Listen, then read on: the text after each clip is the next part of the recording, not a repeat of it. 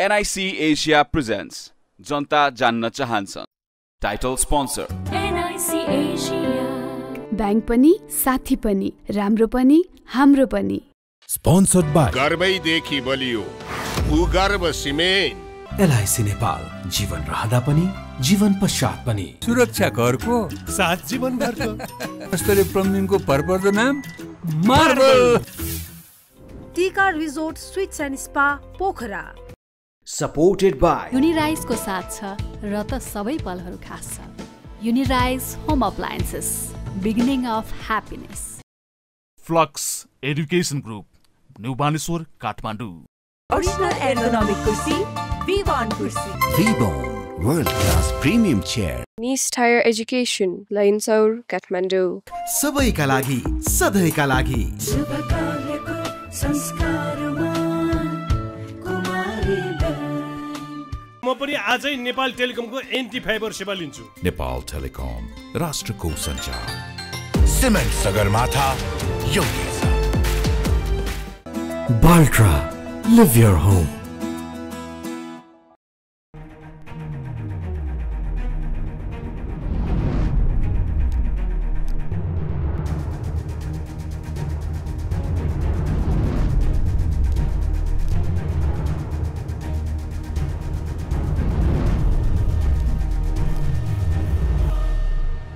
आज हामी हाम्रो देशको कानुनी राज्यको बारेमा चर्चा गर्न चाहन्छौँ। विधिको शासन लोकतन्त्र र संविधानको पनि आज हामी कुरा गर्न चाहन्छौँ। राष्ट्रिय स्वतन्त्र पार्टीका सभापति रविलाम छानालाई पक्रिसके पछिको अवस्थाको बारेमा पनि अब हामी चर्चा गर्न चाहन्छौँ। हाम्रो बिचमा दुईजना अधिवक्ता हुनुहुन्छ। यहाँ दुवैलाई म कार्यक्रममा स्वागत गर्न चाहन्छु। अनुपम भट्टराईजी आराम हुन्छ। ठिक छ? तपाईँ अधिवक्ता। र हेमराज पोखरेल उपाध्यायजी तपाईँ अधिवक्ता। तपाईँलाई कार्यक्रम स्वागत गर्न चाहन्छु। धन्यवाद। रविलाम छाने प्रकरणमा अब के गर्ला अदालत? भोलि त, गर्ला कि म्याथ थप्ला अब यहाँ जहाँसम्म हामीले समाचार सुनिरहेछौँ अहिले पनि बयानकै प्रक्रियामा भएको हुनाले चाहिँ म्याथ थप गर्ने भन्ने कुरा आइरहेछ हजुर। म्याथ थपिसकेपछि के हुन्छ? यो प्रकरण कसरी टुङ्गिन्छ त? अब यसमा के हुन्छ भन्दाखेरि उहाँलाई चाहिँ पहिल्यै अभियोग पत्र पेस गरेर उहाँ फरार अभियुक्त होइन। यसमा भनेको उहाँलाई अनुसन्धान गरेर उहाँलाई चाहिँ एउटा के थियो भन्दाखेरि पहिला हामीले एउटा कुरा यसमा के याद गरौँ भन्दाखेरि एउटा पोखरामा पहिला एउटा मुद्दा चल्यो। त्यो अभियोग पत्र अदालतमा दायर भयो। त्यसपछि त्यसमा पूरक जाहेरी फेरि दर्ता भएको छ। त्यो पूरक जाहेरी चाहिँ के थियो भन्दाखेरि पूरक जाहेरी दर्ता हुँदाका बखत रवि लामिछानेज्यू गृहमन्त्री पदमा हुनुहुन्थ्यो। गृहमन्त्री पदमा भएपछि त्यो के भयो भन्दाखेरि यो पूरक जाहेरीको व्यवस्था कस्तो छ भन्दाखेरि एउटा मुख्य जाहेरी हुन्छ। मुख्य जाहेरी दर्ता भइसकेपछि त्यो पूरक जाहेरी भनेको मुख्य जाहेरीसँग गएर नथी हुन्छ। भनेको त्यो जाहेरी दर्ता नम्बर त्यही हुने भयो। पूरक जाहेरी गएर त्यहाँ अट्याच मात्र हुने भयो। उहाँ गृहमन्त्री भइसकेपछि के भयो भन्दाखेरि त्यो अनुसन्धान अगाडि बढेन। प्रहरीले के गरिदिनु भएन भन्दाखेरि तपाईँको जाहेरी दर्ता हुँदैन भनिदिनु भएन। उहाँले के गर्नु भन्दाखेरि तपाईँले जाहेरी ल्याउनु भएछ। यो के अरे रवि लामिछानेज्यू पनि यसमा भनेको त्यहाँ सहकारी त्यहाँ अनुसन्धान हुँदै गर्दाखेरि एउटा रिपोर्ट आउँदाखेरि पोखरा महानगरपालिकाको रिपोर्ट आउँदै गर्दाखेरि रवि लामिछानेज्यूको सं संलग्नता त्यहाँ देखियो। त्यसपछि पूरक जाहेरी उहाँहरूले राख्नुभयो। त्यसपछि उहाँहरूले तपाईँको दर्ता भयो भनिदिनु भयो अनुसन्धान प्रक्रिया अगाडि बढेन। यहीँ चाहिँ के भयो भन्दाखेरि कन्फ्लिक्ट अफ इन्ट्रेस्ट भयो। कसको भन्दाखेरि गृहमन्त्री र प्रहरीको। गृहमन्त्रीले त जतिखेर पनि उहाँ विरुद्ध तर यो प्रकरण टुङ्गिन र पोखरामा सूर्यदर्शन सहकारी यस्तो भयो हजुर। अस्ति भर्खर के भयो भन्दाखेरि पूरक जाहेरीको कुरा पहिल्यै थियो। त्यसपछि सरकार परिवर्तन भयो। त्यसपछि यता हाम्रो संसदमा सङ्घीय संसदको एउटा छानबिन समिति बन्यो। छानबिन समितिले प्रतिवेदन पेस गर्यो। प्रतिवेदन पेस गर्दै गर्दाखेरि कारबाहीको लागि सिफारिस गर्ने भनेर त्यहाँ पेस गरियो। त्यसपछि के भयो भन्दाखेरि त्यो पूरक जाहेरी जुन थियो त्यो एक्टिभेट भयो। त्यो एक्टिभेट भयो त्यो भएपछि के भयो भन्दाखेरि उहाँलाई पक्रापुर्जी जारी भयो। पकाउ पनि कारण थिएन नि त। होइन होइन पक्राउ नहु नहुने कारण चाहिँ भागेर जाने मान्छे त होइन राष्ट्रिय जनता पार्टीको सभापति यस्तो यस्तो यस्तो प्रधानमन्त्री। भइसकेका व्यक्ति। यस्तो हो। त्यो हामीले व्यक्तिलाई हेर्दाखेरि के गर्नुपर्छ भन्दाखेरि कानुनको शासन। कानुनको शासनमा के हुन्छ भन्दाखेरि उहाँले कन्फ्लिक्ट अफ इन्ट्रेस्ट गरेर एउटा उहाँले परिस्थिति सृजना गरिसक्नु। के पो गर्नुभयो भन्दाखेरि उहाँले त्यही बेला चाहिँ पूरक जाहेरी पर्दै गर्दाखेरि हो रवि लामिछाने मै हो मैले चाहिँ अब अनुसन्धानलाई सघाउँछु भनेको भए हामीले एउटा के गर्न सकिन्थ्यो भन्दाखेरि यतिको व्यक्ति चाहिँ भागेर जाँदैन है भन्न सकिन्थ्यो। तर त्यहाँ त्यस्तो अवस्था थिएन नि। उहाँले के गर्नु भन्दाखेरि लुकाउन खोज्नु। अहिले पनि उहाँले बयानमा के गर्नुहुन्छ भन्दाखेरि त्यो रवि लामिछाने भनेको अर्कै हो भन्नुहुन्छ। उहाँले उपस्थित गराउन सक्नुहुन्छ त्यो फलानु रवि हेराजी जस्तो गम्भीर प्रश्न उठान गर्नुभयो उहाँले भट्टराईजीले। रविलाम छाने भनेको दुईवटा छ। अब कुन रवि लामी छानी खोज्या हो त्यो अलग कुरा हो होइन? अब सरकारले जसलाई एक हिसाबले बन्दी बनाएर राखेको छ गैर कानुनी हिसाबले असंवैधानिक हिसाबले? स्वस्थ मान्छेलाई म तपाईँलाई। स्वस्थ मान्छेलाई नाइटोको व्यथा देखाएर नाकामा औषध दल्न हुन्छ। एउटा स्वस्थ मान्छेलाई नाइटोमा व्यथा छ भनेर नाकामा औषधि दल्न हुन्छ। सार्वभौम त्यो छानबिन समितिले चाहिँ सहकारीमा कुनै विवाद छैन अपचलन भएको छैन भनेर भन्ने। अनि काशी जिल्ला अदालतमा चाहिँ लगेर तपाईँको अनि त्यही विषयवस्तु मुद्दा चलाउन मिल्छ। तर गोर्खा मिडिया कुरा हो। आयो नि त त्यो पैसा त गोर्खा मिडिया नेटवर्कमा गयो नि त सोह्र दर्शन गोर्खा मिडियामा गयो गोर्खा मिडियामा गयो त कसको कारणले कति गयो त भन्ने कुरा? गऱ्यो भनेर भन्यो। कसको कारणले कति पैसा गयो गोर्खा मिडियामा भन्ने कुरा त त्यो फरक तरिकाले अध्ययन गरेर काम गर्नु पर्यो नि त। गोर्खा मिडियामा पैसा गयो भन्ने कुरामा गोर्खा मिडियामा पैसा गयो भन्ने कुरामा त कसको कारणले कति पैसा गयो र कसरी अपचलन भयो भन्ने कुरा फरक अध्ययन र अनुसन्धानको विषयवस्तु हुनसक्छ नि त यो। त्यसरी जानु प- जस्तो तपाईँले हेर्नु भएको होला नि। मुद्दाको विषय के छ? सरकारी ठगी र सङ्गठित अपराध भनेको छ। सङ्घ संस्थामा काम गर्ने त्यसो भने जस्तो तपाईँले पनि एउटा सङ्घ संस्था चलाएर बस्नु भएको छ। अब तपाईँले गरेको पनि काम कारवाहीहरू भोलि तलमाथि यताउति भयो भने सङ्गठित अपराध हुने भयो। एउटा कुरो सरकारी ठगी अहिले सरकारी ठगी हुन्छ। सरकारी ऐन दुई हजार चौहत्तरले सरकारी ठगी भन्ने हुन्छ।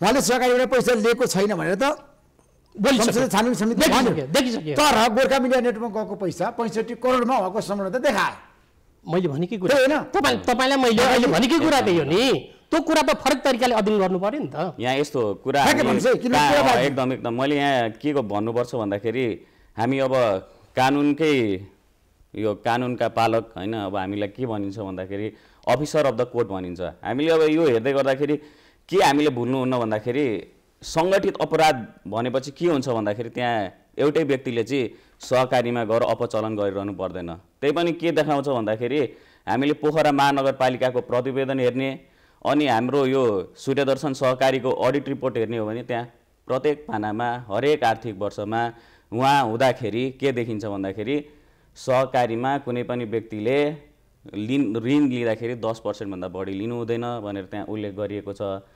दस पर्सेन्टभन्दा बढी लिने को को परे भन्दाखेरि छविलाल जोशी पर्नुभयो रवि लामिछाने पर्नु अब भगवान् जानु है रवि लामिछाने भनेको को हो? अब यो रवि लामिछाने त्यो रवि लामिछाने उहाँले बारम्बार त्यही भन्नुहुन्छ। अब हामीले के त्यो कुरा स्वीकार्नु भएको छैन। छैन। उहाँ म हजुरलाई एउटा कुरा प्रश्न भन्छु। हामीले प्रमाण ऐन हेर्दै गर्दाखेरि प्रमाण कानुन हेर्दै हेर्दै गर्दाखेरि त्यहाँ प्रमाण कानुनमा के स्पष्ट भन्दैछ भन्दाखेरि कुनै व्यक्ति अनुसन्धानको दायरामा रहन्छ र उसले मेरो फलाना फलाना कुरा हो है। मेरो यो कुरा के छ भन्दाखेरि रवि लामी छाने म होइन। रवि लामी छाने अर्को हो भन्दाखेरि उहाँले त्यो अर्को रवि लामी छानेलाई पनि आफै साम्ने। जसरी हामी दुईजना सर र म छौँ यसरी नै म रवि लामी छाने गृहमन्त्री भएको राष्ट्रसभाको सभापति उहाँ चाहिँ अर्को रवि लामिछाने जसले चाहिँ सहकारीबाट पैसा लिएको छ भनेर त्यसरी पुष्टि गर्न सक्ने चाहिँ उहाँकै दायित्व हो। यो भनेको सरकारले खोज्दैन यो कुरालाई। त्यो सक्नुहुन्छ रविजीले? अर्को। व्यक्ति उहाँले कहाँको कुन रेफरेन्स र सन्दर्भमा बोल्नुभयो? त्यो कुरा त मैले अध्ययन गर्न पाएको छैन। यो यो स्रोतमा यो कुरा उहाँले भनेको कुरा यसरी देखिया छ भन्ने कुरा उहाँले त्यो प्रमाण गर्न सक्नुहुन्छ देखाउनुहुन्छ भने अलग कुरा हो। त्यो प्रतिवेदन एघार सय चौबिस प्रतिवेदन- पेजको प्रतिवेदन मैले एक एक पेज छैन। अक्षरशः सबै पढाएको छु मैले। होइन त्यो प्रतिवेदनमा दुईवटा रवि लामी छाने भन्ने काहीँ पनि छैन। मात्रै एउटा रा रवि लामी छानेलाई एउटा रवि लामी छानेलाई त्यहाँ तपाईँको के भने तपाईँको अनुसन्धान गरेका छ बोलाएर तपाईँको क्वेसन गरेका छ एकाउन्न एकाउन्न बाहन्न या त्रिपन्न। पचासदेखि त्रिपन्नको बिचमा क्वेसन सोधेर जवाब दिएको छ एउटा रवि लामी छाने मैले देखाएको छु। अब त्यो अर्को पनि छ। अब त्यो उहाँले न तपाईँको जिकिर आयो होइन। देखि मेरो जिकिर होइन प्रमाणले बुझ्दै गरेको कुरा हो। त्यसो भए किन तपाईँहरू जुलुस प्रदर्शन गरिरहनु भएको छ? अदालतलाई किन प्रभावमा पार्न खोज्नुभयो? किन दबावमा पार्न यस्तो। त? किन एकजना मान्छे निर्दोष? छ दुईटा कुरा। हामीले हामीले दुईटा कुरा अदालतले न्याय दिला नि त। तपाईँ न्याय मरेको छ। एक तपाईँ कालो कोट लगाएर अदालतमा बहस गर्नुहुन्छ। विश्वास तपाईँलाई- त्यसमा त दुविधै रह्यो अनि- त्यसमा त दुविधै रह्यो। जस्तै राष्ट्रिय स्वतन्त्र पार्टीका कार्यकर्ता भन्ने तपाईँको प्रश्न छ नि। हामीले दुइटा कुरो बुझ्नुपर्छ। होइन। दुइटा कुरो बुझ्नु पर्यो क्या। दुइटा कुरो बुझ्नु पर्यो एउटा कुरो कानुनको शासन हुन्छ व्यक्तिको शासन हुनु भएन। त्यसका विरुद्धमा मलाई लाग्छ ती कार्यकर्ताहरूले आन्दोलन गरे। दोस्रो कुरो के हुन्छ हुन्छ भने कानुन जति निर्मम रहन्छ नि कानुन जति निर्मम रहन्छ कानुनी राज्य त्यति नै प्रभावकारी हुन्छ। अब हामी कहाँ के भयो भने कानुनलाई चाहिँ हामीले कानुनलाई चाहिँ हामीले टोकरीमा बन्द गरेर राख्यौँ।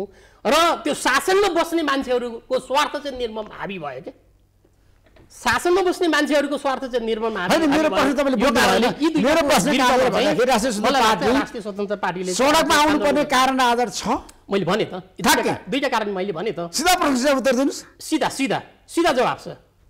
प्रतिवेदनले के बोलेको हो त प्रतिवेदनले के बोले हो त प्रतिवेदनले प्रतिवेदनले स्पष्ट किटानी गरेको विषयवस्तुमै फेरि गलत तरिकाले मुद्दा चलाउनु पाइन्छ त अनुमान भट्टराईजी गलत मुद्दामा उहाँलाई चाहिँ हिरासतमा राखेको? एकदम एकदम होइन मैले हजुरलाई। मैले अब मैले के भन्नुपर्छ म म एकदम एकदम स्पष्ट मैले के पार्छु भन्दाखेरि मैले पहिलाको अघिको कडी किन जोडेँ भन्दाखेरि मैले कन्फ्लिक्ट अफ इन्ट्रेस्ट यहाँ भयो उहाँको भनेर पहिला मुद्दा हालेको थिएँ।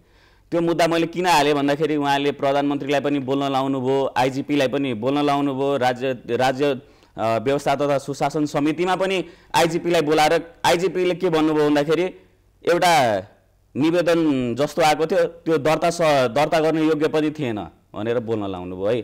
त्यहाँ भएको एसएसपी उहाँ कास्की प्रहरी कार्यालय प्रहरी कार्यालय कास्कीमा भएको उहाँले एसएसपीलाई पनि बोलाउनु भयो जो चाहिँ त्यो एसएसपी आउन योग्य व्यक्ति त्यहाँ हुनुहुन्थेन उहाँ। त्यो पनि गर्नुभयो। यो सबै के हो भन्दाखेरि abuse of power misuse of power गरेर उहाँले के भन्नुभयो भन्दाखेरि त्यो रवि लामिछाने म होइन भनेर उहाँले त्यो बेला भन्नु। मैले प्रतिवेदनको कुरा जोडिनँ। प्रतिवेदनले त के भन्छ भन्दाखेरि अपचलन गरेको सहकारीमा प्रत्यक्ष संलग्नता नभए पनि उहाँले चाहिँ सहकारीको रकम अपचलन गर्नु हो। हामीले यहाँ के के भन्यौँ भन्दाखेरि सहकारीको रकम कहाँ गयो? यहाँ त अपचलनको कुरा आयो। अपचलन गर्न को को व्यक्ति छन् भन्दाखेरि उहाँले कहिले से स्वेट सेयर भन्नुभयो? त्यो स्वेट सेयर पनि थिएन किनभने कम्पनी ट्रान्सफर हुँदाखेरि रवि लामिछाने फलानुको नाति के बौद्ध छ बस्ने भनेर उहाँले बकाइदा कम्पनीको सेयर ट्रान्सफरको कागज गर्नुभएको छ। त्यो गरेर उहाँको नाममा आएको छ।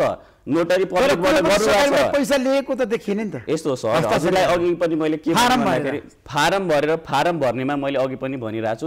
उहाँले त्यो रवि लामी छाने। अर्को भनेर भन्नुभएको छ। त्यो त मैले अहिले प्रमाण पनि ल्याउन सक्थेँ। अब किन भन्दाखेरि त्यो सर्वोच्च प्रमाण अदालतमा तपाईँले अब राम्रो हुन्थ्यो नि त। सर्वोच्च अदालतमा अभिलेखित छ ती कुराहरू। रवि लामी छाने प्रशस्त देखिन्छ। प्रशस्त रवि लामी छाने एकदम एकदम एकदम एकदम बकाइदा अब हामीले के हेरौँ भन्दाखेरि हामीले एउटा ग्लोबल आयामीको खाता हेरौँ है। यो जुन गोर्खा मिडियाको गोर्खा मिडियाको यो के अरे ग्लोबल आयामीमा खोलेको खातामा पनि हामीले हेर्दाखेरि त्यहाँ रोशनी गुरुङ रवि लामिछाने भनेर नाम लेखिएको छ। रोशनी गुरुङले बयान गर्दै उहाँले के भन्नुभएको छ भन्दाखेरि मैले रवि लामिछानेको खातामा पैसा हालेँ सहकारीको रकम हालेँ। रवि लामिछाने को हो त? यहाँ के देखियो भन्दाखेरि उहाँको उहाँलाई जुन अहिले म्याथप भइरहेछ अदालतले उहाँलाई बयानको लागि उपस्थित गराइरहेछ अनुसन्धान अधिकारीले जुन बयान लिने कार्य भइरहेको छ त्यो चाहिँ भनेको जुडिसियल कस्टडी हो जुडिसियल रिमान्ड हो।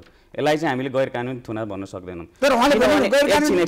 मैले मैले भन्छु गैर गैर कानुन थुना भएको भए त पहिलो दिन रवि लामिछाने शुक्रबार यहाँबाट कास्की लगिनुभयो। आइतबारका दिन बन्दी प्रत्यक्षीकरणको निवेदन किन परेन त? गैर कानुनी थुना थियो भने बन्दी प्रत्यक्षीकरणको निवेदन किन परेन? उहाँको त ग्राउन्ड छ। म्याथअप यतिकै हुँदैन सर। हजुरले बुझ्नुपर्छ म्याथअप यतिकै हुँदैन। म्याथअप हुनलाई आधार कारण सबै कुरा चाहिन्छ। यो पूरक जाहेरीको कुरा यहाँ भनेको जनताहरूले बिर्सिनु भएको छ। यो हामीले पोखरामा गएर हेर्दाखेरि बकाइदा देखिन्छ पूरक जाहेरी पर्या छ त्यसमा रवि लामी छानेको नाम नै एक नम्बरमा किटान गरेको छ है। कसु गर्ने व्यक्तिको नाममा रवि लामी छानेको नाम एक नम्बरमा किटान छ। यसरी जाहेरी भनेको मन परि पर्ने कुरा होइन नि। जाहेरी भनेको त फर्स्ट इन्फर्मेसन रिपोर्ट भनिन्छ त्यसलाई। भनेको मुद्दा उठान हुने त्यो भनेको पहिलो आधार हो। त्यसले नै म्याथअप गर्ने हो। त्यसपछि थप प्रमाण अगाडि सर्छ। त्यसपछि अनि थाहा हुन्छ नि त मुद्दा चलाउने नचलाउने के गर्ने। अब उहाँहरूले चाहिँ के गर्नुहुन्छ भन्दाखेरि न्यायमा अवरुद्ध गरिरहनु भएको छ। कसरी? म म म म भन्छु। आधा यस्ता यसरी म भन्छु। यहाँ मैले के भन्छु भन्दाखेरि गलत कुरा नबोल्नुहोस्। एकदम एकदम। मैले गलत कुरा बोल्दिनँ। मलाई किन मान्छेलाई मिसलिड गर्नु नै छैन मलाई बोल्नु सत्य तथ्य बोल्नुहोस्। मैले के भन्छु भन्दाखेरि यहाँ हामीले के देखिरहेछौँ भन्दाखेरि सबै लमेकर हो। हामी हेरौँ। अब यहाँ पार्टीगत रूपमा पनि यो मुद्दा अगाडि बढिरहेछ। जस्तै अब हामीले अब हिजो बालकृष्ण खाड समातिनु भयो कसैले के गरेन? टोपबहादुर रायमाझी समातिनु भयो यहाँ कसैले हुल उज्जत गरेन? अर्को त्यसपछि महराज्यू समातिनु भयो कसैले हुल उज्जत गरेन। तर एउटा पार्टीको सभापति अनि त्यसपछि गृहमन्त्री भएका व्यक्तिलाई चाहिँ अनुसन्धान गर्छु है भनेर राज्यले मलाई सहयोग गर्नु भन्दाखेरि उहाँहरूको मोटो चाहिँ एकदम राम्रो छ है सर। उहाँहरू के भन्नुहुन्छ हामी अदालतलाई सहयोग गर्छौँ भन्नु भन्नुहुन्छ एउटा हातमा र अर्को हातमा के गर्नुहुन्छ भन्दाखेरि पोखरामा जाने त्यसपछि हुल उज्जत गर्ने त्यसपछि के गर्ने भन्दाखेरि न्यायाधीश कुन दलको सोध्नु न्यायाधीश किन आयो म्याथप किन गर्यो उहाँहरू के गर्नुहुन्छ भन्दाखेरि अदालतको जनआस्थामा मान्छेलाई दिग्भ्रमित गर्ने किसिमको अभिव्यक्तिहरू दिनुहुन्छ। भनेको उहाँहरूले त बोलिदिनुहुन्छ। अब त मलाई यहाँ रमाइलो कुरा के लाग्छ भन्दाखेरि मलाई यो पार्टीमा केही लिनु छैन। रवि लामी छाने देश बनाउँछु भनेर आउनुभएको हो। उहाँको अब एमआइटी ग्रेजुएट हुनुहुन्छ हार्वर्ड ग्रेजुएट हुनुहुन्छ सबै एउटा ठाउँमा आउनु भएको छ। उहाँहरू तर के भन्नुहुन्छ भन्दाखेरि अदालतलाई जना जनताको जनआस्थालाई त्यसपछि अदालतमा जन उहाँहरूको मात्र मुद्दा जाँदैन है सर। साधारण मान्छे जो भनेको सात सदियार कुलो सिमानाको मुद्दाहरू पनि जान्छ। उहाँहरूलाई पनि के हुन्छ भन्दाखेरि अदालत त यसरी डाइभर्ट हुँदो रहेछ नि यसरी न्यायाधीशहरू हिँड्दा रहेछन् भने उहाँहरूले त्यतिसम्म गर्नुभएको छ। उहाँहरूले के गर्नुभएको छ भन्दाखेरि हुल उज्जत गरेपछि के हुन्छ? एउटा भनेको अदालतलाई प्रेसर बनाउन सक्नुहुन्छ। यो भनेको हामीले अदालतको अवहेलना हेर्ने हो भने न्याय प्रशासन ऐन दुई हजार त्रिहत्तरको दफा सत्रले के भन्छ भन्दाखेरि अदालतको यो जुन जुन न्याय सम्पादनको प्रक्रिया छ त्यसलाई अवरुद्ध गर्नु हुँदैन भनेर स्पष्ट भनेको छ। सर्वोच्च अदालत नियमावली दुई हजार चौहत्तरको नियम उनासाठीको तिन र चार विश्वास छैन नि त अदालत जे पनि एकदम। एकदम मैले अदालतले जे पनि गर्दैन सर है यो हामीले अदालतले त्यसले आन्दोलन गर्नुपर्छ। त्यो त्यस्तो होइन सर यो अदालतले के भन्छ अदालतलाई म सहयोग पनि गर्छु भन्ने अनि त्यसपछि हुल उज्जत पनि गर्ने। यो भनेको द्वैत चरित्र देख्यो यहाँ यहाँ? मुद्दा हाल्न जानु भएको थियो अदालतमा। मैले त सर अदालतको अवहेलनामा त मेरो मैले मुद्दा दायर गर्न लगाएको छु। त्यो अब सम्भवतः भोलि दर्ता हुन्छ। भएर कसरी भयो? अब यसो यसो हेरौँ है मनिष झाज्यू जो प्रवक कार्यवाहक प्रवक्ता हुनुहुन्छ उहाँले के भन्नु भन्दाखेरि न्यायाधीशलाई गएर सोध्नुहोस् न्यायाधीश कुन दलको हो भनेर। त्यति न्यायाधीशलाई त्यति भन्ने उहाँको के आधार छ? अनि त्यसपछि न्यायालयलाई न्याय सम्पादनमा अवरुद्ध गर्नु भनेको पनि यो अदालतको अवहेलना हो भनेर हामीले यो रिचार्ड निक्सनको मुद्दामा ट्रम्पको मुद्दामा अहिले पनि चलिरहेछन् ट्रम्पको त अहिले पनि मुद्दा चलिरहेछ। यी कुराहरूमा पनि हामीले देख्न सक्छौँ। यो भनेको अदालतको अवहेलना के हो? सर्वोच्च अदालत नियमावलीले भनेको छ संविधानको धारा एक सय अठाइसको चारले भनेको छ। त। अहिले आएर फेरि अवहेलनाको मुद्दा हाल्नुपर्ने कारण छ भने। होइन होइन पार्टीले जुलुसको प्रदर्शन गर्न पाउँदैन। एकदम एकदम एकदम ऋषि सर मैले के भने भन्दाखेरि न्याय भनेको जुलुस गरेर पाउने चिज होइन नि त। यसलाई म कसरी यहाँ पूर्वाग्राही भएँ? मैले त भनेको न्यायको शासन हुनुपर्छ। न्याय कानुनी शासन भनेको नै प्रजातान्त्रिक शासन व्यवस्थाको जग हो। न्यायपालिकाले यो व्यवस्थालाई थप बलियो बनाउँछ भन्ने कुरालाई नै मैले अङ्गीकार गरेर एउटा अधिवक्ता भएको हिसाबले मैले त सार्वजनिक सरोकारको विषयहरू उठान गरेको छु मैले। भनेको त मैले त आफ्नो रेगुलर कोर्सको मुद्दाहरूलाई भट्टराईजीको भनाइमा सहमति कहाँनिर छ तपाईँको? ठ्याक्कै दुईजनाको तर्कमा। होइन उहाँको कुन भनाइसँग म सहमत हुनु पऱ्यो र विमत हुनु पऱ्यो उहाँले त गोल मोटलमा धेरै कुरा गरिसक्नु भयो नि। गोल मोटलमा त अब आन्दोलन गर्ने नगर्ने भनेको कुनै एउटा राजनीतिक दलका कार्यकर्ताहरूले उनीहरूको स्वेच्छाको कुरा भयो त्यो एउटा कुरो। अर्को कुरो लोकतान्त्रिक राज्यमा डेमोक्रेटिक स्टेटमा त्यो आन्दोलन गर्नु उनीहरूको नैसर्गिक अधिकार हो। यो मैले भनिरहनु परेन। अदालतको विरुद्ध आन्दोलन। अधिकार हो। अब अदालतको विरुद्धमा अदालतको विरुद्धमा कसले कहाँ आन्दोलन गर्यो? अदालतको विरुद्धमा कसले कहाँ आन्दोलन? तपाईँको पार्टी सभापति आज हिरासतमा हुनुहुन्छ। त्यसमा कुनै द्विविधै छैन नि। त्यो त उहाँलाई मैले छिराउनु भने- पर्छ भनेर गलत क्रिया गर्न तपाईँहरू छ नि कहिले? प्रधानमन्त्री कहाँ पुग्नु भएको छ? होइन। दबाब दिनु भएको छ कुनै- कहिले नेताहरूको घरमा जानु भएको छ? परराष्ट्र मन्त्रीलाई तपाईँले मेसेज पनि पठाउनु राष्ट्रिय स्वतन्त्र पार्टीका सभापतिलाई सभापतिलाई गलत तरिकाले विषयवस्तु उठान गरेर विषयवस्तु उठान गरेर बन्दी बनाएर राख्नु विषय त्यो राखिएको विषयवस्तुमाथि त्यो पार्टीका कार्यकर्ताले आन्दोलन गर्नु गलत हो र?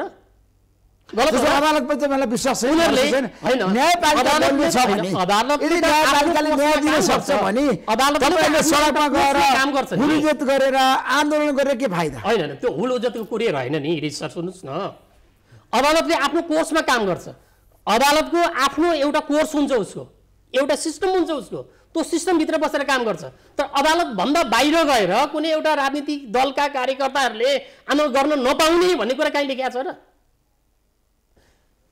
कुनै एउटा राजनीतिक पार्टीका नेतालाई कुनै एउटा राजनीतिक पार्टीका नेतालाई चाहिँ गलत तरिकाले गलत विषयवस्तुमा जुन विषयवस्तु चाहिँ एउटा सार्वभौम सदन सार्वभौम सदनको समितिले छानबिन समितिले चाहिँ पुष्टै गरिसकेको कुरामै फेरि गलत तरिकाले एउटा राजनीतिक स्वार्थको लागि मुद्दा चलाएको छ भन्ने कुरा आफ्ना कार्यकर्ताहरूलाई शुभचिन्तकहरूलाई सचेत गर्नु कुनै एउटा राजनीतिक दलले सचेत गर्नु त्यो गलत हो र त्यसलाई गलत मान्ने हो र? भर्खरजी, यसको त्यो गलत इतिहास हामीले हो र? पहिले पनि हेरे होला नि त जुलुस प्रदर्शन गर्नु विरोध गर्नु गलत हो र यस्तो यस्तो सर ठ्याक्कै भन्नुहोस्। अब मैले अब उहाँले गोलमटोल कुरा गर्यो त्यस्तो भन्नुहुन्छ होइन अब हामीले हेर्ने हो भने होइन यो के अरे अदालतको अवहेलना अनि यो अभिव्यक्तिको स्वतन्त्रतामा के हुन्छ भन्दाखेरि एउटा फाइन लाइन हुन्छ है एउटा थिन मार्जिन भनेको यो कुन चाहिँ अवहेलना हुने के अवहेलना नहुने अभिव्यक्तिको स्वतन्त्रता भनेको के हो कतिखेर गर्न पाउने यो नारा जुलुस यो सार्वभौम सांसदको सङ्घीय सांसद सांसदको साम सांसदहरू भएर होइन संसदहरू भएर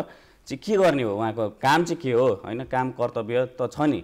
भनेको उहाँहरूले चाहिँ गर म ऋषि सरलाई यति कुरा भन्न चाहन्छु अहिले भनेको रवि लामिछाने थुनामा हुनुहुन्छ है थुनामा हुनुहुन्छ कस्टडीमा हुनुहुन्छ जुडिसियल कस्टडी हो। त्यो कस्टडीमा हुँदै गर्दाखेरि अब म चाहिँ बाहिर प्रदर्शन गर्छु। कहाँ गर्छु भन्दाखेरि अदालत बाहिर गर्छु। अदालत बाहिर गर्दै गर्दाखेरि त्यो के हो? त्यो त्यसलाई के भन्ने? त्यो पाइन्छ।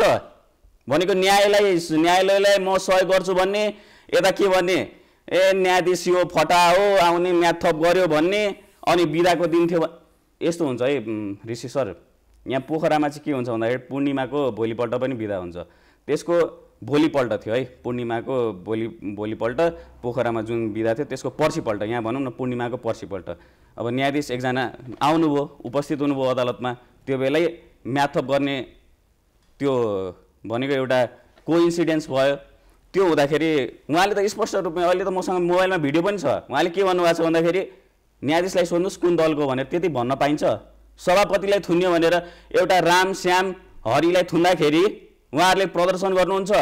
अस्ति ढाकाराम समातिँदाखेरि के गर्नुभयो भनेको यहाँ स्वार्थ चाहिँ उहाँहरू कहाँ देखिन्छ भन्दाखेरि एउटा सांसद भएको व्यक्तिले अब यो के हुन्छ भन्दाखेरि एउटा विरोध प्रदर्शन गर्न पाउँछ पाउँदैन?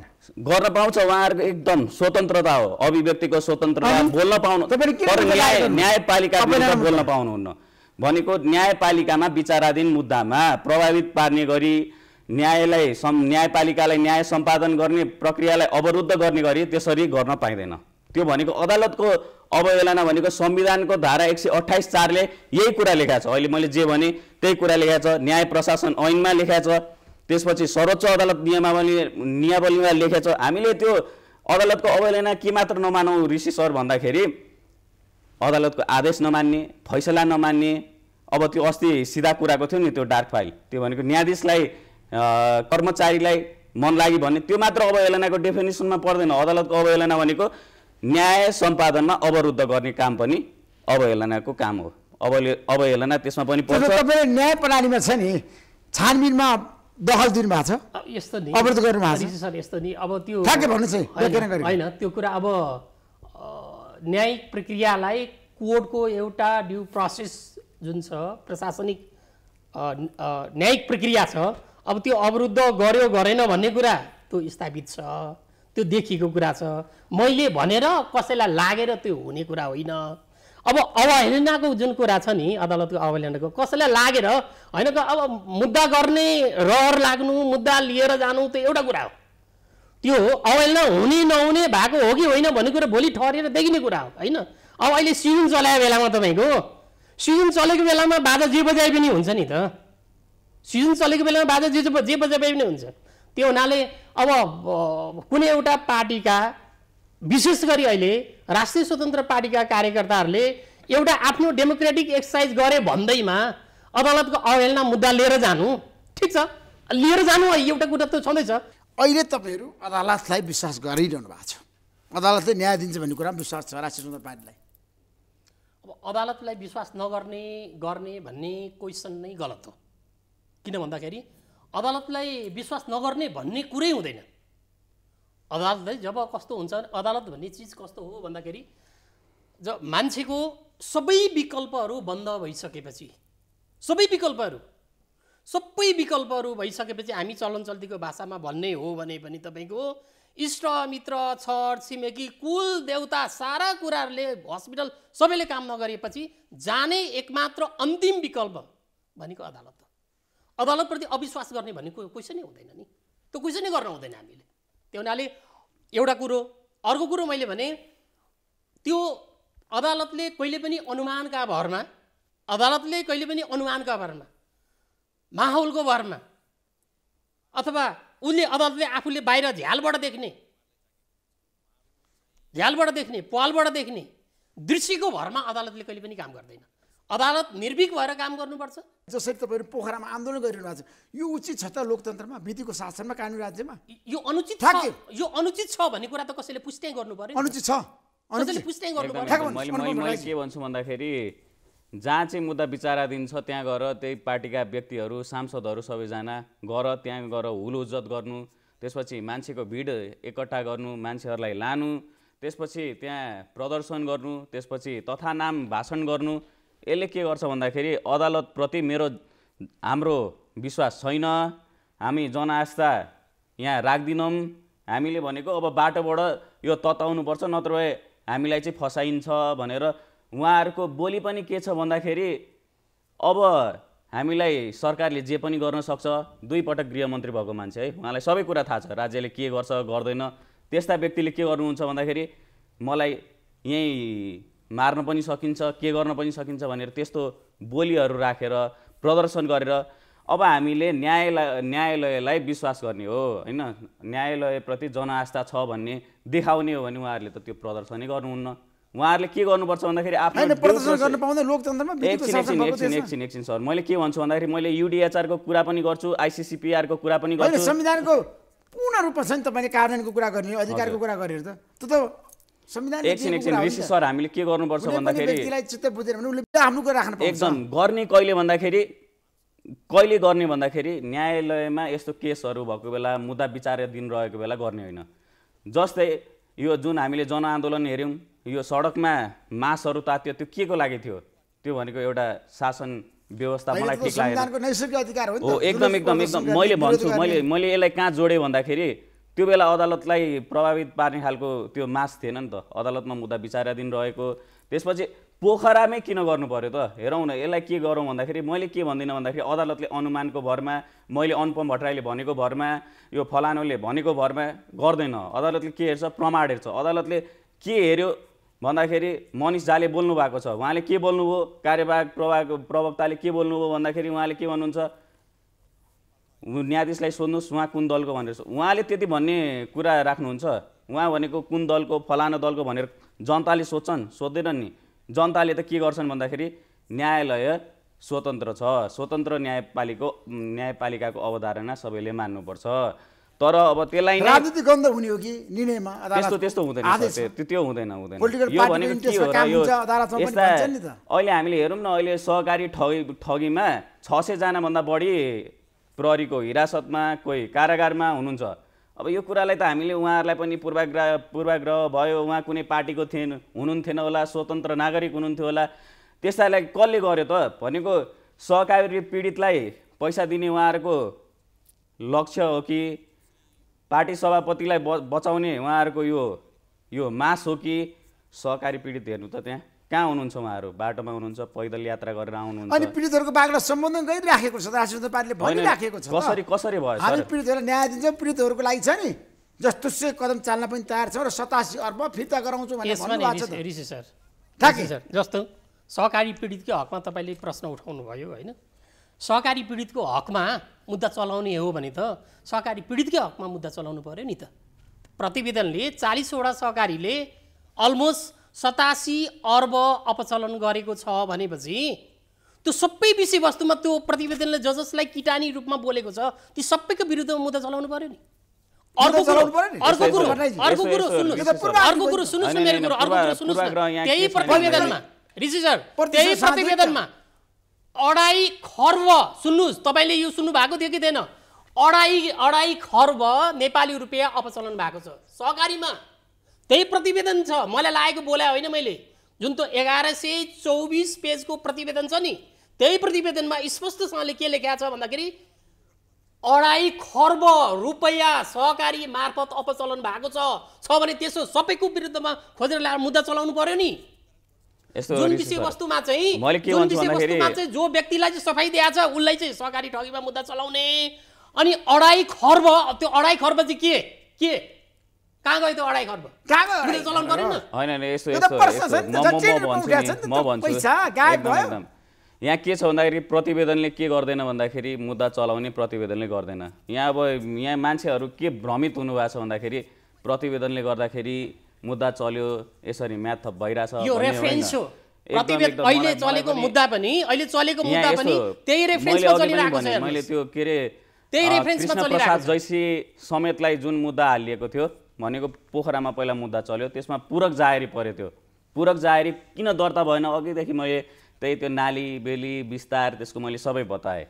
अब रवि लामिछानेज्यू हिजो एउटा पदमा हुनुहुन्थ्यो के हुनुहुन्थ्यो? Abuse of power misuse of power conflict of interest सबै देखियो। अब त्यही उहाँ नहुँदापछि प्रतिवेदनले पनि के गर्यो भन्दाखेरि सहकारीमा डाइरेक्ट इन्भल्भमेन्ट छैन तर सहकारीको रकम अपचलन गरेको छ कारबाहीको लागि सिफारिस गर्ने भनेर प्रतिवेदनमै लेखिया छ। मजाले लेखिया छ त्यो भनेको। पढेर त्यसलाई बिसचोटि पल्टाउँदा दुई हजारचोटि पल्टाउँदा पनि त्यही देखिन्छ। अनि पूरक जाहेरी परेको कुरालाई चाहिँ किन हामीले अहिले हेरिदिँदैनौँ? पूरक जाहेरीकै आधारमा चाहिँ उहाँलाई म्याथप गरेको छ न्यायपालिकाको कुरा गर्दाखेरि सबैलाई विश्वास छ तपाईँले भन्नुभयो। दुविधै छैन मैले भने नि। त्यसमा कुनै त्यसमा दुविधै छैन। सहकारी ठगी प्रकरणमा सहकारी सहकारी ठगी प्रकरणमा मैले अघि पनि तपाईँलाई भने होइन छविलाल जोशी दोषी हो कि रविलाल छैन हो कि जीवी राई हो कि त्यसमा हो कि को त? त्यसमा दोषी सरकार हो। सरकार दोषी सरकार हो। सरकारले त्यत्रो लगानी गरेर त्यत्रो लगानी गरेर तपाईँको भनौँ न सत्तरी बहत्तर दिन छुट्याएर त्यो संयन्त्र बनाएर समिति बनाएर जुन एउटा प्रतिवेदन रेफरेन्सको रूपमा ल्यायो रेफरेन्सको रूपमा ल्यायो त्यो रे त्यसलाई साँच्चै नै रेफरेन्स बनाएर मुद्दा चलाउने हो भने फर्दर इन इन्भेस्टिगेसन गर्ने हो भने इन्टिरोगेसन गर्ने हो भने सबै विषयवस्तु सबै सहकारीमा त्यहाँ जो जो सञ्चालक र सहकारीलाई इन्डिकेट गरेको छ सरकारको त्यो प्रतिवेदनले त्यो प्रतिवेदनलाई रेफरेन्स बनाएर अब अरू जाहेरी हाल्न लगाउने हो भने सबै लाउनु पर्यो नि त। साँच्चै सहकारी पीडितलाई न्याय गर्ने हो भने त साँच्चै सहकारी पीडितको पक्षमा गर्नुपर्छ। अभियसली मैले अहिले भनिरहेको। फिर्ता हुनुपर्छ। म अहिले पनि कुरा गरिरहेको छु। म अहिले पनि त्यो कुरा गरिरहेको छु। त्यो भने साँच्चै सहकारीको कुरा गर्ने पीडितको कुरा गर्ने हो भने कुनै एउटा व्यक्तिलाई कुनै एउटा व्यक्तिलाई राजनीति प्रतिशोध सान्नका लागि राजनीति प्रतिशोध सान्नको लागि उसको राजनीतिक करियर समाप्त गर्नको लागि भर्खर उम्रिँदै गरेको एउटा नयाँ वेबमा आएको पोलिटिकल पार्टीलाई त्यो निमिट्यान्न पार्नको लागि जुन प्रतिशोधका हिसाबले सरकारले मुद्दा चलाएको छ यो गलत हो। साँच्चै साँच्चै सहकारी पीडितलाई चाहिँ न्याय दिने हो भने सरकारले मिनिमम पनि मिनिमम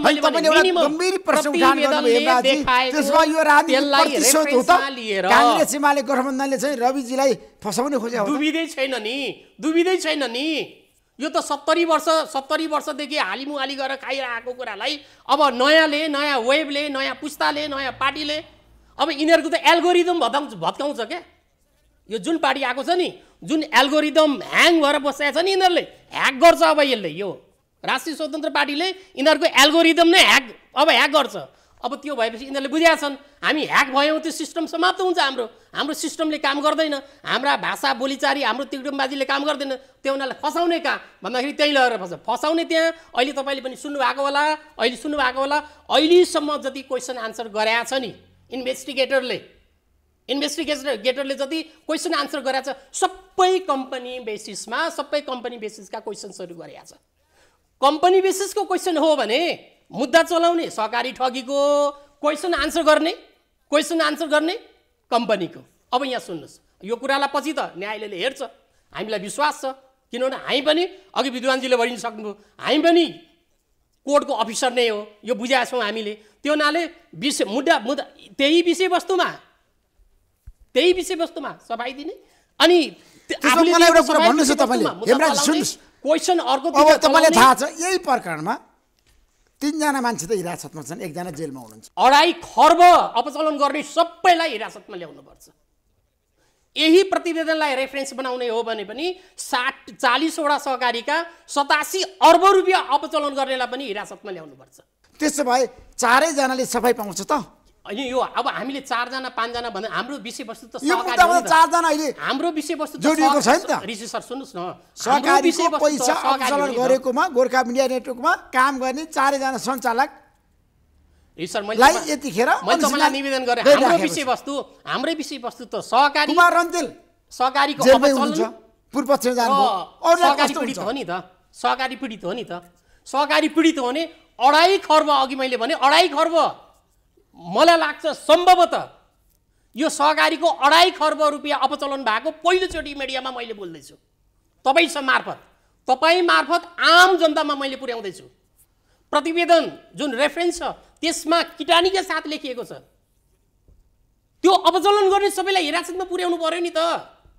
आज ऋषिकेश पोखरेलहरू आज धनराज गुरुङहरू। अनुपम भट्टराजी तपाईँ मैले- के भन्छु भन्दाखेरि कानुनको दायरामा आउनु पर्दैन। यस्तो यो मुद्दाको उठान हुँदै गर्दाखेरि प्रतिवेदन भइहाल्यो। प्रतिवेदन भनेको रेफरेन्स हो। उहाँले पनि त्यही भनिरहनु भएको छ। रेफरेन्स चाहिँ के हो भन्दाखेरि यो सेकेन्ड्री कुरा हो। प्राइमरी के हो भन्दाखेरि एफआइआर फर्स्ट इन्फर्मेसन रिपोर्ट चाहिँ त्यहाँ हुनैपर्छ भनेको प्रहरी प्रतिवेदन चाहियो कि त जाहेरी चाहियो पीडितहरूले जाहेरी दिनु पर्दैन। सरकारले के भन्छ? सरकारले स्वतन्त्र न्यायपालिकालाई अवरुद्ध गर्ने गरी फलानु अब जस्तै मैले ऋषि सरलाई ए तपाईँ सहकारीमा पैसा हालेको होइन? जानुहोस् त जाहेरी दिनुहोस् भनेको म प्रधानमन्त्री थिएँ अरे। मैले त्यसरी भन्छु तपाईँले गर्नुहुन्छ। गर्नुहुन्न नि। उहाँहरूलाई पनि जाहेरी पर्नुपर्छ। जाहेरी परेपछि फलानु पार्टी अमुक पार्टी यो पार्टी रुलिङ पार्टी कोलिसन भनेर कसैलाई हेरिनुहुन्न।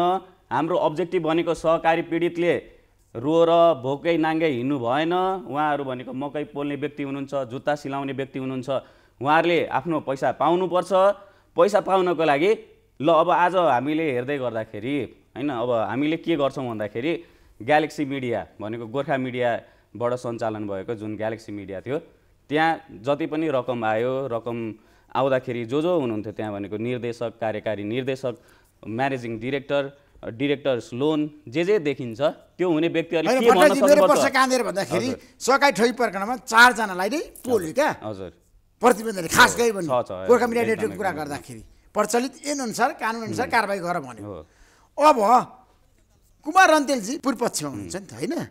अब के हुन्छ? अरूलाई के हुन्छ? उहाँलाई पनि अब सबैलाई के हुन्छ। भन्दाखेरि हामीले के गर्नुपर्छ भन्दाखेरि मैले एउटा यहाँ प्रकरण के जोड्न चाहेँ भन्दाखेरि रवि लामी छानेज्यू गृहमन्त्री हुँदै गर्दाखेरि गीता बस्नेत भनेको राप्रपाको सांसद हुनुहुन्थ्यो। उहाँलाई पनि पक्रापुजी जारी गर्यो। उहाँ अहिले फरार हुनुहुन्छ है?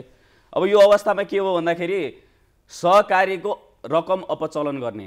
मैले हजुरको कार्यक्रम हेर्दै गर्दाखेरि अस्ति एउटा इन्टरभ्यूमा मैले के पनि देखेँ भन्दाखेरि सङ्गठित अपराध लगाइसकेपछि सहकारी ठगी सङ्गठित अपराध लगाइसकेपछि सङ्गठित अपराधमा एउटै मान्छे हुल बनाएर एउटै काम गर्न जाँदैन। भनेको फलानुले चोरेर ल्याउँछ अर्कोले त्यो चोरेको सामान नयाँ बानेश्वर लान्छ नयाँ बानेश्वरमा अर्कोले पसलमा बेच्छ त्यो बेचेपछि के हुन्छ भन्दाखेरि लास्टमा सहकारीसँगै जोडिन्छ यो भनेको एउटा प्रकरण हो त्यही भएर के हुन्छ भन्दाखेरि। मैले यहाँ के भन्नुपर्छ। भन्दाखेरि यो सबै व्यक्ति जो पनि यहाँ आउनु भएको छ अनुसन्धानको दायरामा हुनुहुन्छ उहाँहरूको प्रपर्टी कन्फिस्टि कन्फिस्केट गर्ने भनेको त्यसलाई राख्ने राज्यले भनेको हुन्छ नि भोलि एउटा सेक्युरिटी भनेको भोलि न्याय दिँदै गर्दाखेरि पीडितहरूलाई कहाँबाट दिने भन्दाखेरि त्यही रकमहरू दिने उहाँहरूको प्रपर्टीबाट दिने त्यही भएर उहाँहरूलाई बाहिर छोडिनुहुन्न। भनेको मैले के हेर्छु भन्दाखेरि थुन्चेकको हामीले के हेर्छौँ भन्दाखेरि गृहमन्त्री भएको मान्छे भाग्छ भन्ने त्यस्तो गर्नुहुन्न। यो भनेको चाहिँ पूर्वाग्राही कुरा हो। गृहमन्त्री राम श्याम गाउँले खेताला गोठाला भनेको सबैलाई एउटै कुरा हुनुपर्छ। त्यही भएर उहाँहरू पनि पूर्वपक्षको लागि चुनावमै जानुपर्छ। राज्य कसरी धमिराले खाए जस्तो खाएको थाहा छ तपाईँलाई? थाहा छ? भ्रष्टाचारीहरूको थाहा छैन कसरी खाएको छ? थाहा भन्नुहोस्? थाहा छैन। सुन्नुहोस्। सुन्नुहोस्। यो कुरा गम्भीर छ। पहिले कसरी खाइयो? धमिरा धमिरा लागे जस्तो कसरी खाइयो? एनजिओ आइएनजिओ मार्फत ब्रह्मलुट गरियो। त्यसमा अब तपाईँको बाटा छेक्दै छेक्दै कानुनी हिसाबले परिबन्ध लाउँदै गएपछि अब यिनै यिनै यिनै हाम्रा नेता कार्यकर्ता अब यो भित्र केही एकदम राम्रो छविको पनि हुनुहुन्छ। होइन? ठुलो योगदान पुर्याउनु भएको छ।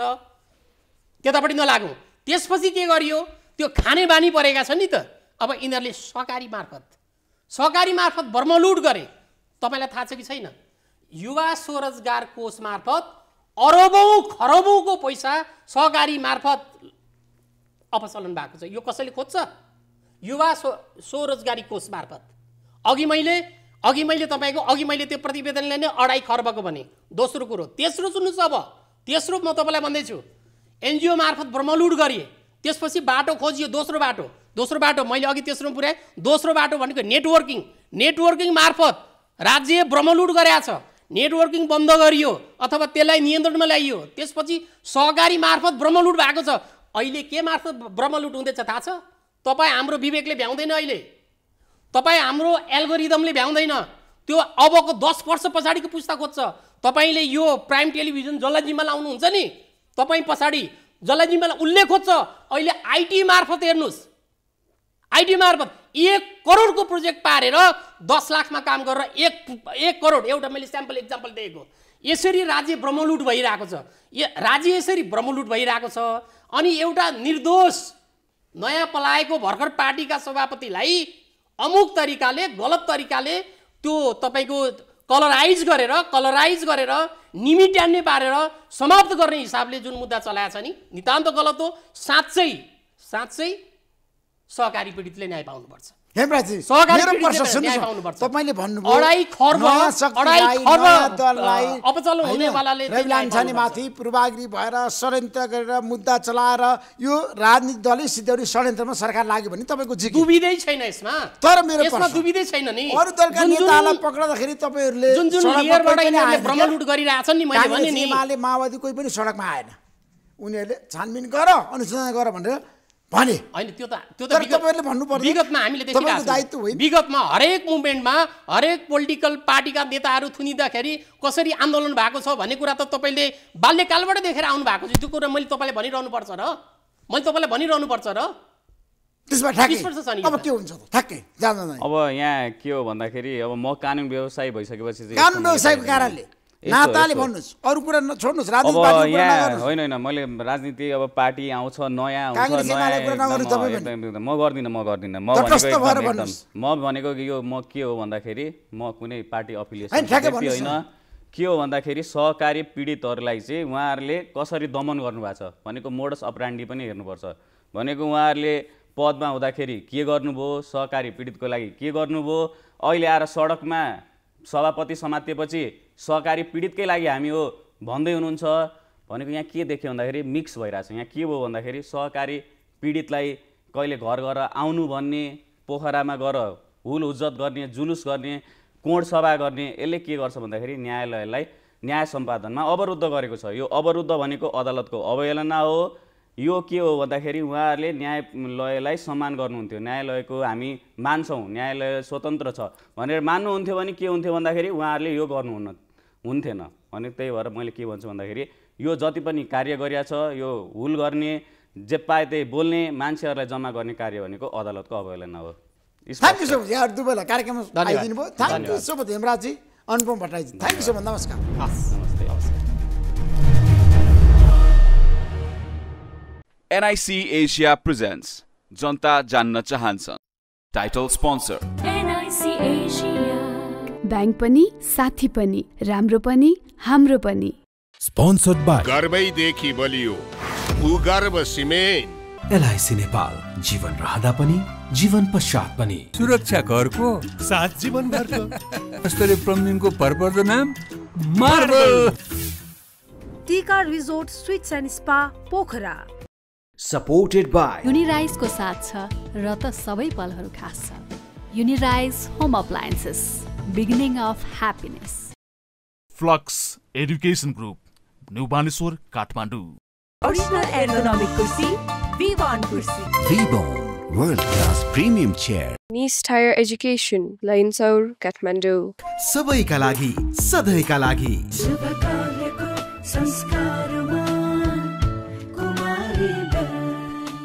म पनि आजै नेपाल टेलिकमको एन्टी फाइबर सेवा लिन्छु। नेपाल टेलिकम राष्ट्रको सञ्चार। सिमेन्ट सगरमाथा छ Baltra Live your home